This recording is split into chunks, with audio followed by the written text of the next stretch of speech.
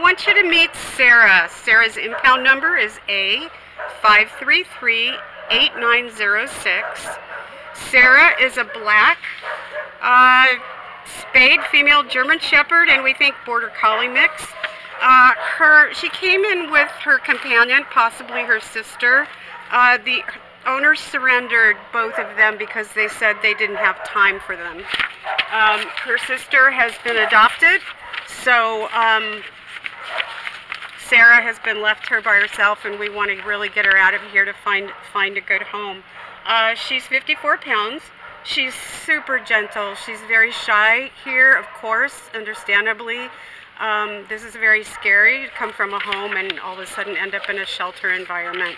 Um, so she is shy at first, but once she gets to know you and she spends a little time with one-on-one, -on -one, she she gives kisses, she's very affectionate, and she absolutely wants to please her human. So she is very eager to be loved. Um, certainly she gets along with, with another dog since she was with one.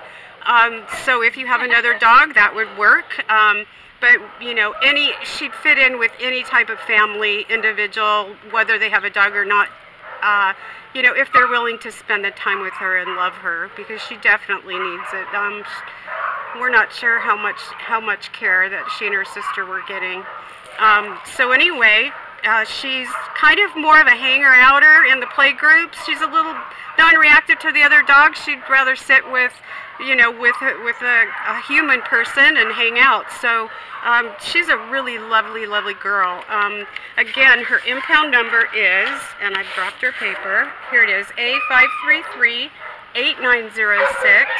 Uh, she is currently in kennel 210. So come on down and meet Sara. She's beautiful. Look at those ears. She poked them up for a little bit. Bye, Sara. Bye, good girl.